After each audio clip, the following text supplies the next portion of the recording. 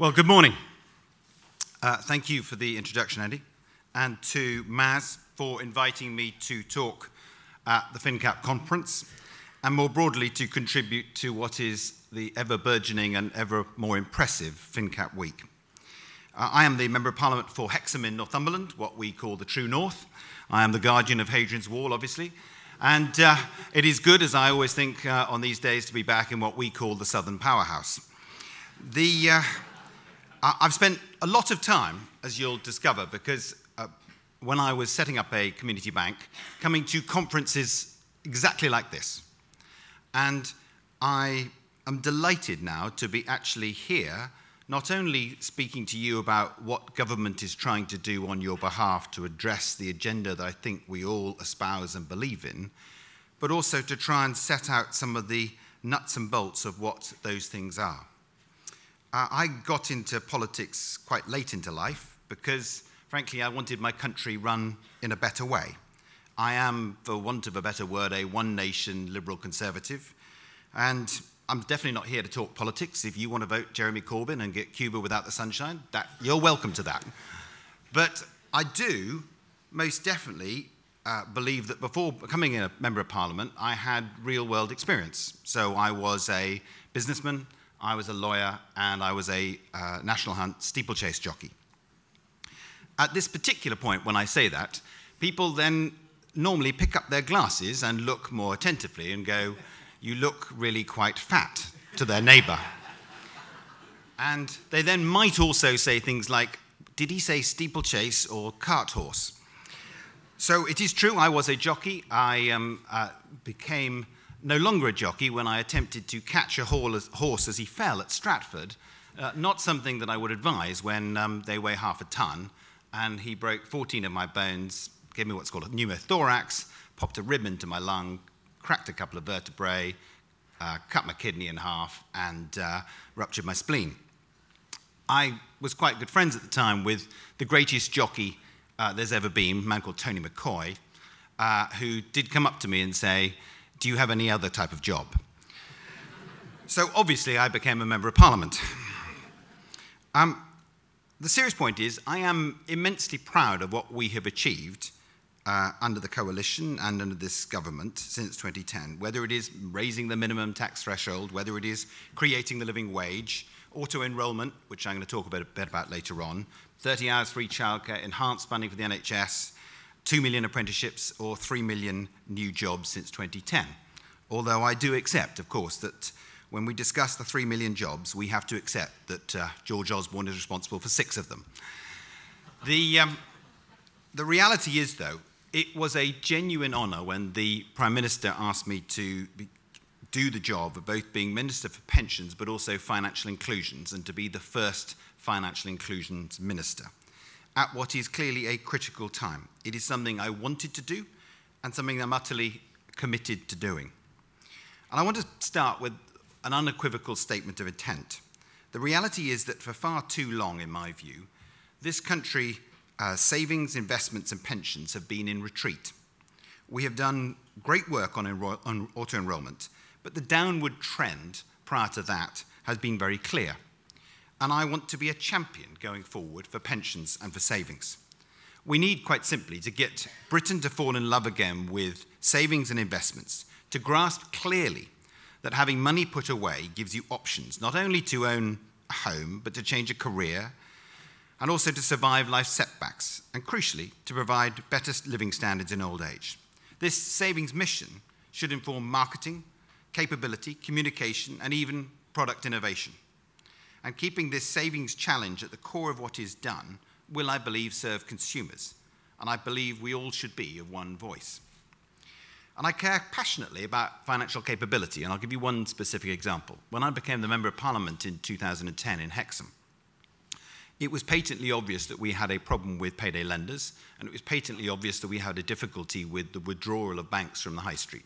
So we set up a uh, community bank in Northumberland that is fully regulated, uh, started from scratch with no government money whatsoever, and is now, following its launch by the Archbishop of York in November 2015, is now fully functioning and expanding at a rate of a couple of hundred percent a, a year. I'm no longer actively involved, but our community bank uh, has significant amounts of money deposited and is making low cost loans to those who need them most. Now, I live in an area where Newcastle United used to be sponsored by Wonga. Now, they're a perfectly reputable company in many ways, but I don't believe that payday lenders is the way forward. And so, as Justin Welby asked us to do, uh, we took on the payday lenders at source and made sure that there was community lending available in an alternative environment. But we then decided that wasn't quite enough. So you'll understand about uh, things like the Lifesavers Project. And the Lifesavers Project is run by the Treasury and by Virgin Money and by various other organizations to provide financial education and, crucially, capability to uh, first and primary school children uh, in their particular schools. And it effectively is a bank in the local schools. It is something I'm immensely proud of that the local bank I set up is now providing that on an ongoing basis. That surely is the way ahead. I want to focus today on two uh, particular things to discuss with you. The first is the single financial guidance body, and the second is pensions dashboard. But before I do so, I want to just give a little bit of context on some of our pensions reforms. Clearly, a key priority of the government is to increase saving for security in later life. We're helping uh, working people save for a private pension and giving them uh, pensions freedoms to access their pension savings in the best way for them. We've already made significant progress through a broad range of reforms, including helping people through, save for retirement through automatic enrolment, so people can have a greater prospects with their retirement. The auto enrolment has delivered probably the most significant change in pension savings of recent years. It has reversed the decline in workplace pension savings seen in the decade prior to its introduction. And bear in mind that uh, since 2012, when this was launched, 8.8 million people have signed up to auto enrolment. That is beyond the wildest hopes and dreams of any policy wonk, any minister, anybody in this room when this was first launched. And despite the growing success, we do actually know that there is more to be done. So uh, we are currently doing the review of auto enrolment, and myself and the Secretary of State will be uh, making specific decisions in uh, December this year and reporting back to Parliament. We're going to address fundamentally three areas existing coverage and how to achieve the right balance between enabling as many people as possible to save whilst ensuring that it makes economic sense for them to be included. As part of this, we're looking at the position of those in multiple jobs who are currently excluded from being automatically enrolled. We're also look, using the review to look at how the self employed can be helped to save for their retirement following the Taylor report. Secondly, we're looking at how engagement can be improved so that savers have a stronger sense of personal ownership and are better enabled to maximize savings. And thirdly, we're strengthening the evidence base around contributions to support future decisions on contribution rates. We hope that the review will provide a clear sense of direction and will be the first step in an ongoing conversation between industry, employers, and government about how we build on the excellent platform AE is delivering and how that then dovetails and relates to the financial capability of all of us. I want to add one particular rider, though. I am passionate about auto enrolment and fully committed to it, but I also want to make the case, much like we did with the living wage, which I helped pioneer um, a few years ago, that this is something that is good for employers as well as employees. So, taken together, I believe that the auto enrollment and the new pension freedoms will help increasing numbers of people to build up pension savings and provide them with more choice about how to spend them. Now, I'd like to say a little bit more about financial inclusion, uh, which is the second half of my role. And as the first minister of that, I am delighted to have that opportunity to set out the case. I think we can all agree that access to useful and affordable financial services and products is utterly key. And I want people to have the tools they need to enable them to plan not only for later life, but more life more broadly. It is also important, however, that consumers are consistently engaged in decision making, protected from practices that are a threat and have a high degree of confidence that the financial system will work for them rather than the other way round.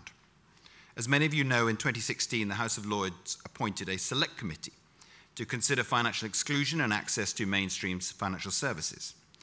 The government has carefully considered the committee's recommendations and recently published uh, its response. In our response, we proposed the creation of a financial inclusion policy forum, which will drive better coordination across government and with regulators and the sector in that space. We're pleased that the Financial Inclusion Commission recently issued a statement welcoming the government response as an indication that we're taking the issue of financial exclusion very, very seriously. Now, in relation to financial capability, I, I want to stress I support wholeheartedly the great work of the Financial Capability Board and MAS itself. They have clearly driven positive change and helped an understanding about how we can help people improve their capability. I was delighted to read the progress to date in the financial capability strategy that has been circulated today. And a wide range of organizations are already involved in helping people to manage their money better, whether it is government bodies, commercial organizations, charitable foundations, or the voluntary sector. These organizations do amazing work and make a real difference to individuals' lives. I know many of you here today. I've tried to speak to some of you uh, before the conference began, but I genuinely want to thank you for all of your efforts. So, it is therefore crucial that the financial capability strategy aims to help people to improve their ability to manage money well, both day to day and through significant life events. Seeking to do so by supporting people to develop their financial skills and knowledge and by changing attitudes and motivations is surely the right approach. And I'm encouraged by the long term approach of the strategy itself, which targets people at all stages of life. This type of long term thinking is exactly what is needed and what we as government are trying to pioneer. I'm also impressed that the strategy brings together different people and organizations with different expertise and skills.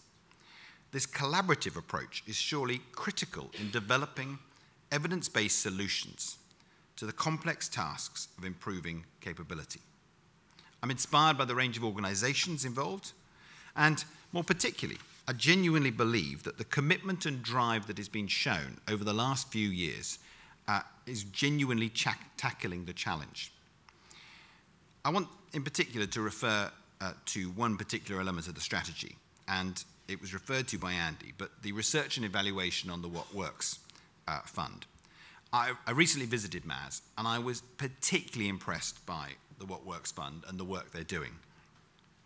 This financial support for projects uh, testing and piloting potential solutions and evaluating financial capability interventions and helping to boost best practice is countrywide as well. This is not something just based down here. I think there's been a great contribution by MAS in this and the other organizations who are helping. And step by step, I genuinely believe that they are accumulating an evidence base to build the picture of what works to increase capability for the people of this country. Now, for me, a major part of my new role since uh, July has been uh, to introduce the Financial Guidance and Claims Bill and manage its progress through Parliament. This bill provides for the establishment of a single financial guidance body. This was the first bill introduced by the government uh, since the general election. So, if there is any doubt in your mind about whether the uh, government takes this seriously, the very first bill that they uh, set out is the Financial Guidance and Claims Bill. The um, uh, bill has now completed its report stage in the House of Lords. It began in the House of Lords with Baroness Buscombe, my colleague, leading it. And we expect third reading, which is the final stage, to take place on Tuesday, the 21st of November. The bill will then be introduced to the House of Commons shortly after that and is on course, we hope, to receive the Queen's signature by March next year. There is a broad consensus, I believe, that a single body is the way forward for financial advice and guidance. It brings together and builds on the important work done by MAS, uh, TPAS, and PensionWise. I've been speaking to all three of these organizations. And what genuinely struck me was the enthusiasm of all three organizations for the direction of travel and the merger of these three organizations to accentuate the many positive things that they are doing already. The new body will, I believe, be a single port of call for those seeking help, bringing money, debt, and pensions guidance together and offering a more holistic approach and a service to consumers. It will make it genuinely easier for people to access the impartial help they need in making effective financial decisions and help plan and save for their future. And one of the key objectives, let us be clear, of the new single financial guidance body will be to help develop financial capability. Together, these three combined services will drive forward work on the financial capability strategy for the UK and to help everybody, whatever their age, to improve that capability. Through its strategic functions, uh, the SFGB will also bring together interested parties and partners in the financial services industry, the public and voluntary sectors, and the devolved administrations with the aim of improving the ability of members to manage their finances. To deliver that, the body will need to develop a, and coordinate a national strategy to improve financial capability and people's ability to manage debt and financial education for children and young people. The premise of the strategy, strategy is that one organization working independently will have little chance of greatly impacting cap financial capability, but many working together definitely will. The role of the new body will be to develop that framework, drive the process forward, and oversee implementation. I also then want to turn to the issue of the pensions dashboard. Because as well as guidance, I believe consumers need access to good information on their pensions. And this is, in my view, a long overdue reform. As recent research from the industry-led pensions dashboard project has suggested, in today's environment, when people struggle to find information about their pensions, they become frustrated, confused, and more. It is not surprising then that engagement levels are so low, that so many people are not saving enough, and that millions, if not billions, worth of pensions pots have become lost in this antiquated system. Everyone agrees that the old way of doing things does not work for a lot of people. We now need to bring people up to match fitness so that they are in a position to make good decisions, have proper accessibility, and include uh, an advantage of the opportunities that the pension freedoms bring. That is why government has been working with industry and regulators on the development of the pensions dashboard, which I believe presents a clear picture of a person's pension entitlement in one secure online location. I see the introduction of the dashboard as the catalyst that will genuinely transform the way in which people begin to think about retirement. Through the pensions dashboard, people can have a clear picture of all the pension savings in one place. And bear in mind, the average person has at the very least 11 pots uh, at their disposal and they have accrued. This will undoubtedly help people make better decisions and make it easier for savers to plan ahead. I believe it is time, frankly, to bring pensions into the digital, digital age. I want to ensure that pensions information and the data that belongs to consumers is available when the customer and the consumer wants it to see in one specific place. And I believe that the dashboard, supported with clear signposting to quality and impartial uh, guidance, will help to restore a belief in the pension system. People will, I believe, feel more in control and more confident as they are able to make better informed, accessible, transparent decisions. The evidence to support this is numerous. The recently published uh, consumer research carried out by 2CV on behalf of the industry supports this view. The industry project group managed by the ABI, which reported in October, has done great work in delivering a prototype infrastructure showing that the technology can work. We see this as a very big step forward, but we do now need to move to the next level. And I want to try and set out what those levels are today. As highlighted in the um, ABI's report, uh, there are a number of key areas to consider, including whether we need to compel schemes to participate, and when that compulsion would or would not take place, the governance arrangements, a model for delivery that will work for both industry and user, and discussions of all manner of data. I recently announced that the Department for Work and Pensions has taken lead responsibility for the project within government, away from Treasury and into DWP. And we are managing the next phase of the project. We have enhanced the team behind it and we are working with industry, with consumers and regulators and have commenced a feasibility study to examine the complex issues that still need to be addressed.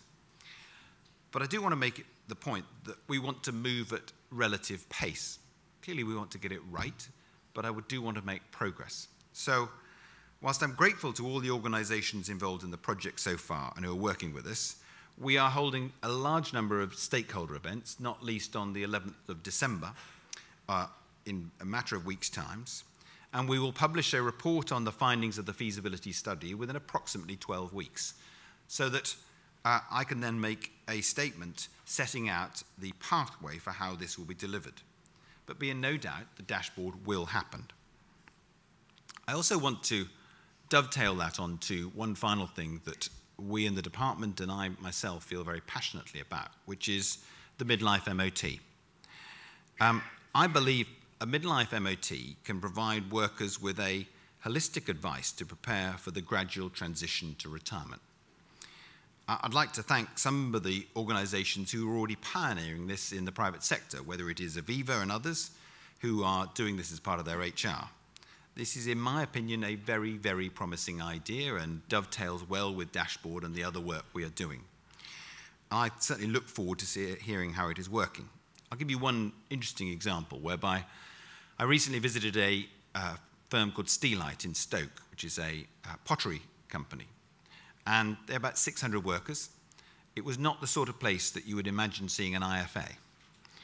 And as part of the provision by the company of effectively their HR, they laid on and provided a uh, IFA to advise the employees, such that they were then able to take individual decisions at particular times.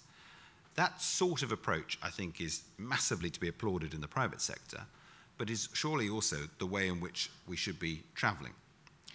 I apologise at this stage because I'm not going to be able to stay for the rest of today's conference because I have to head back to Parliament to do a couple of debates. Um, I just want to make a couple of points on some of the things that you are going to be debating. I don't think you could be any doubt that dashboard's going to happen. I know that you'll be discussing that later. I don't think you should be in any doubt that we want to make uh, savings and pensions more accessible and transparent. And I don't think you can be any doubt that the guidance body will provide and address many of the things that we all genuinely care passionately about. For my part, I'm absolutely determined that we help manage people to manage money better, both day to day and through significant life events, including retirement. And if we work together in that respect, I believe it is genuinely possible to make a difference. Thank you very much indeed.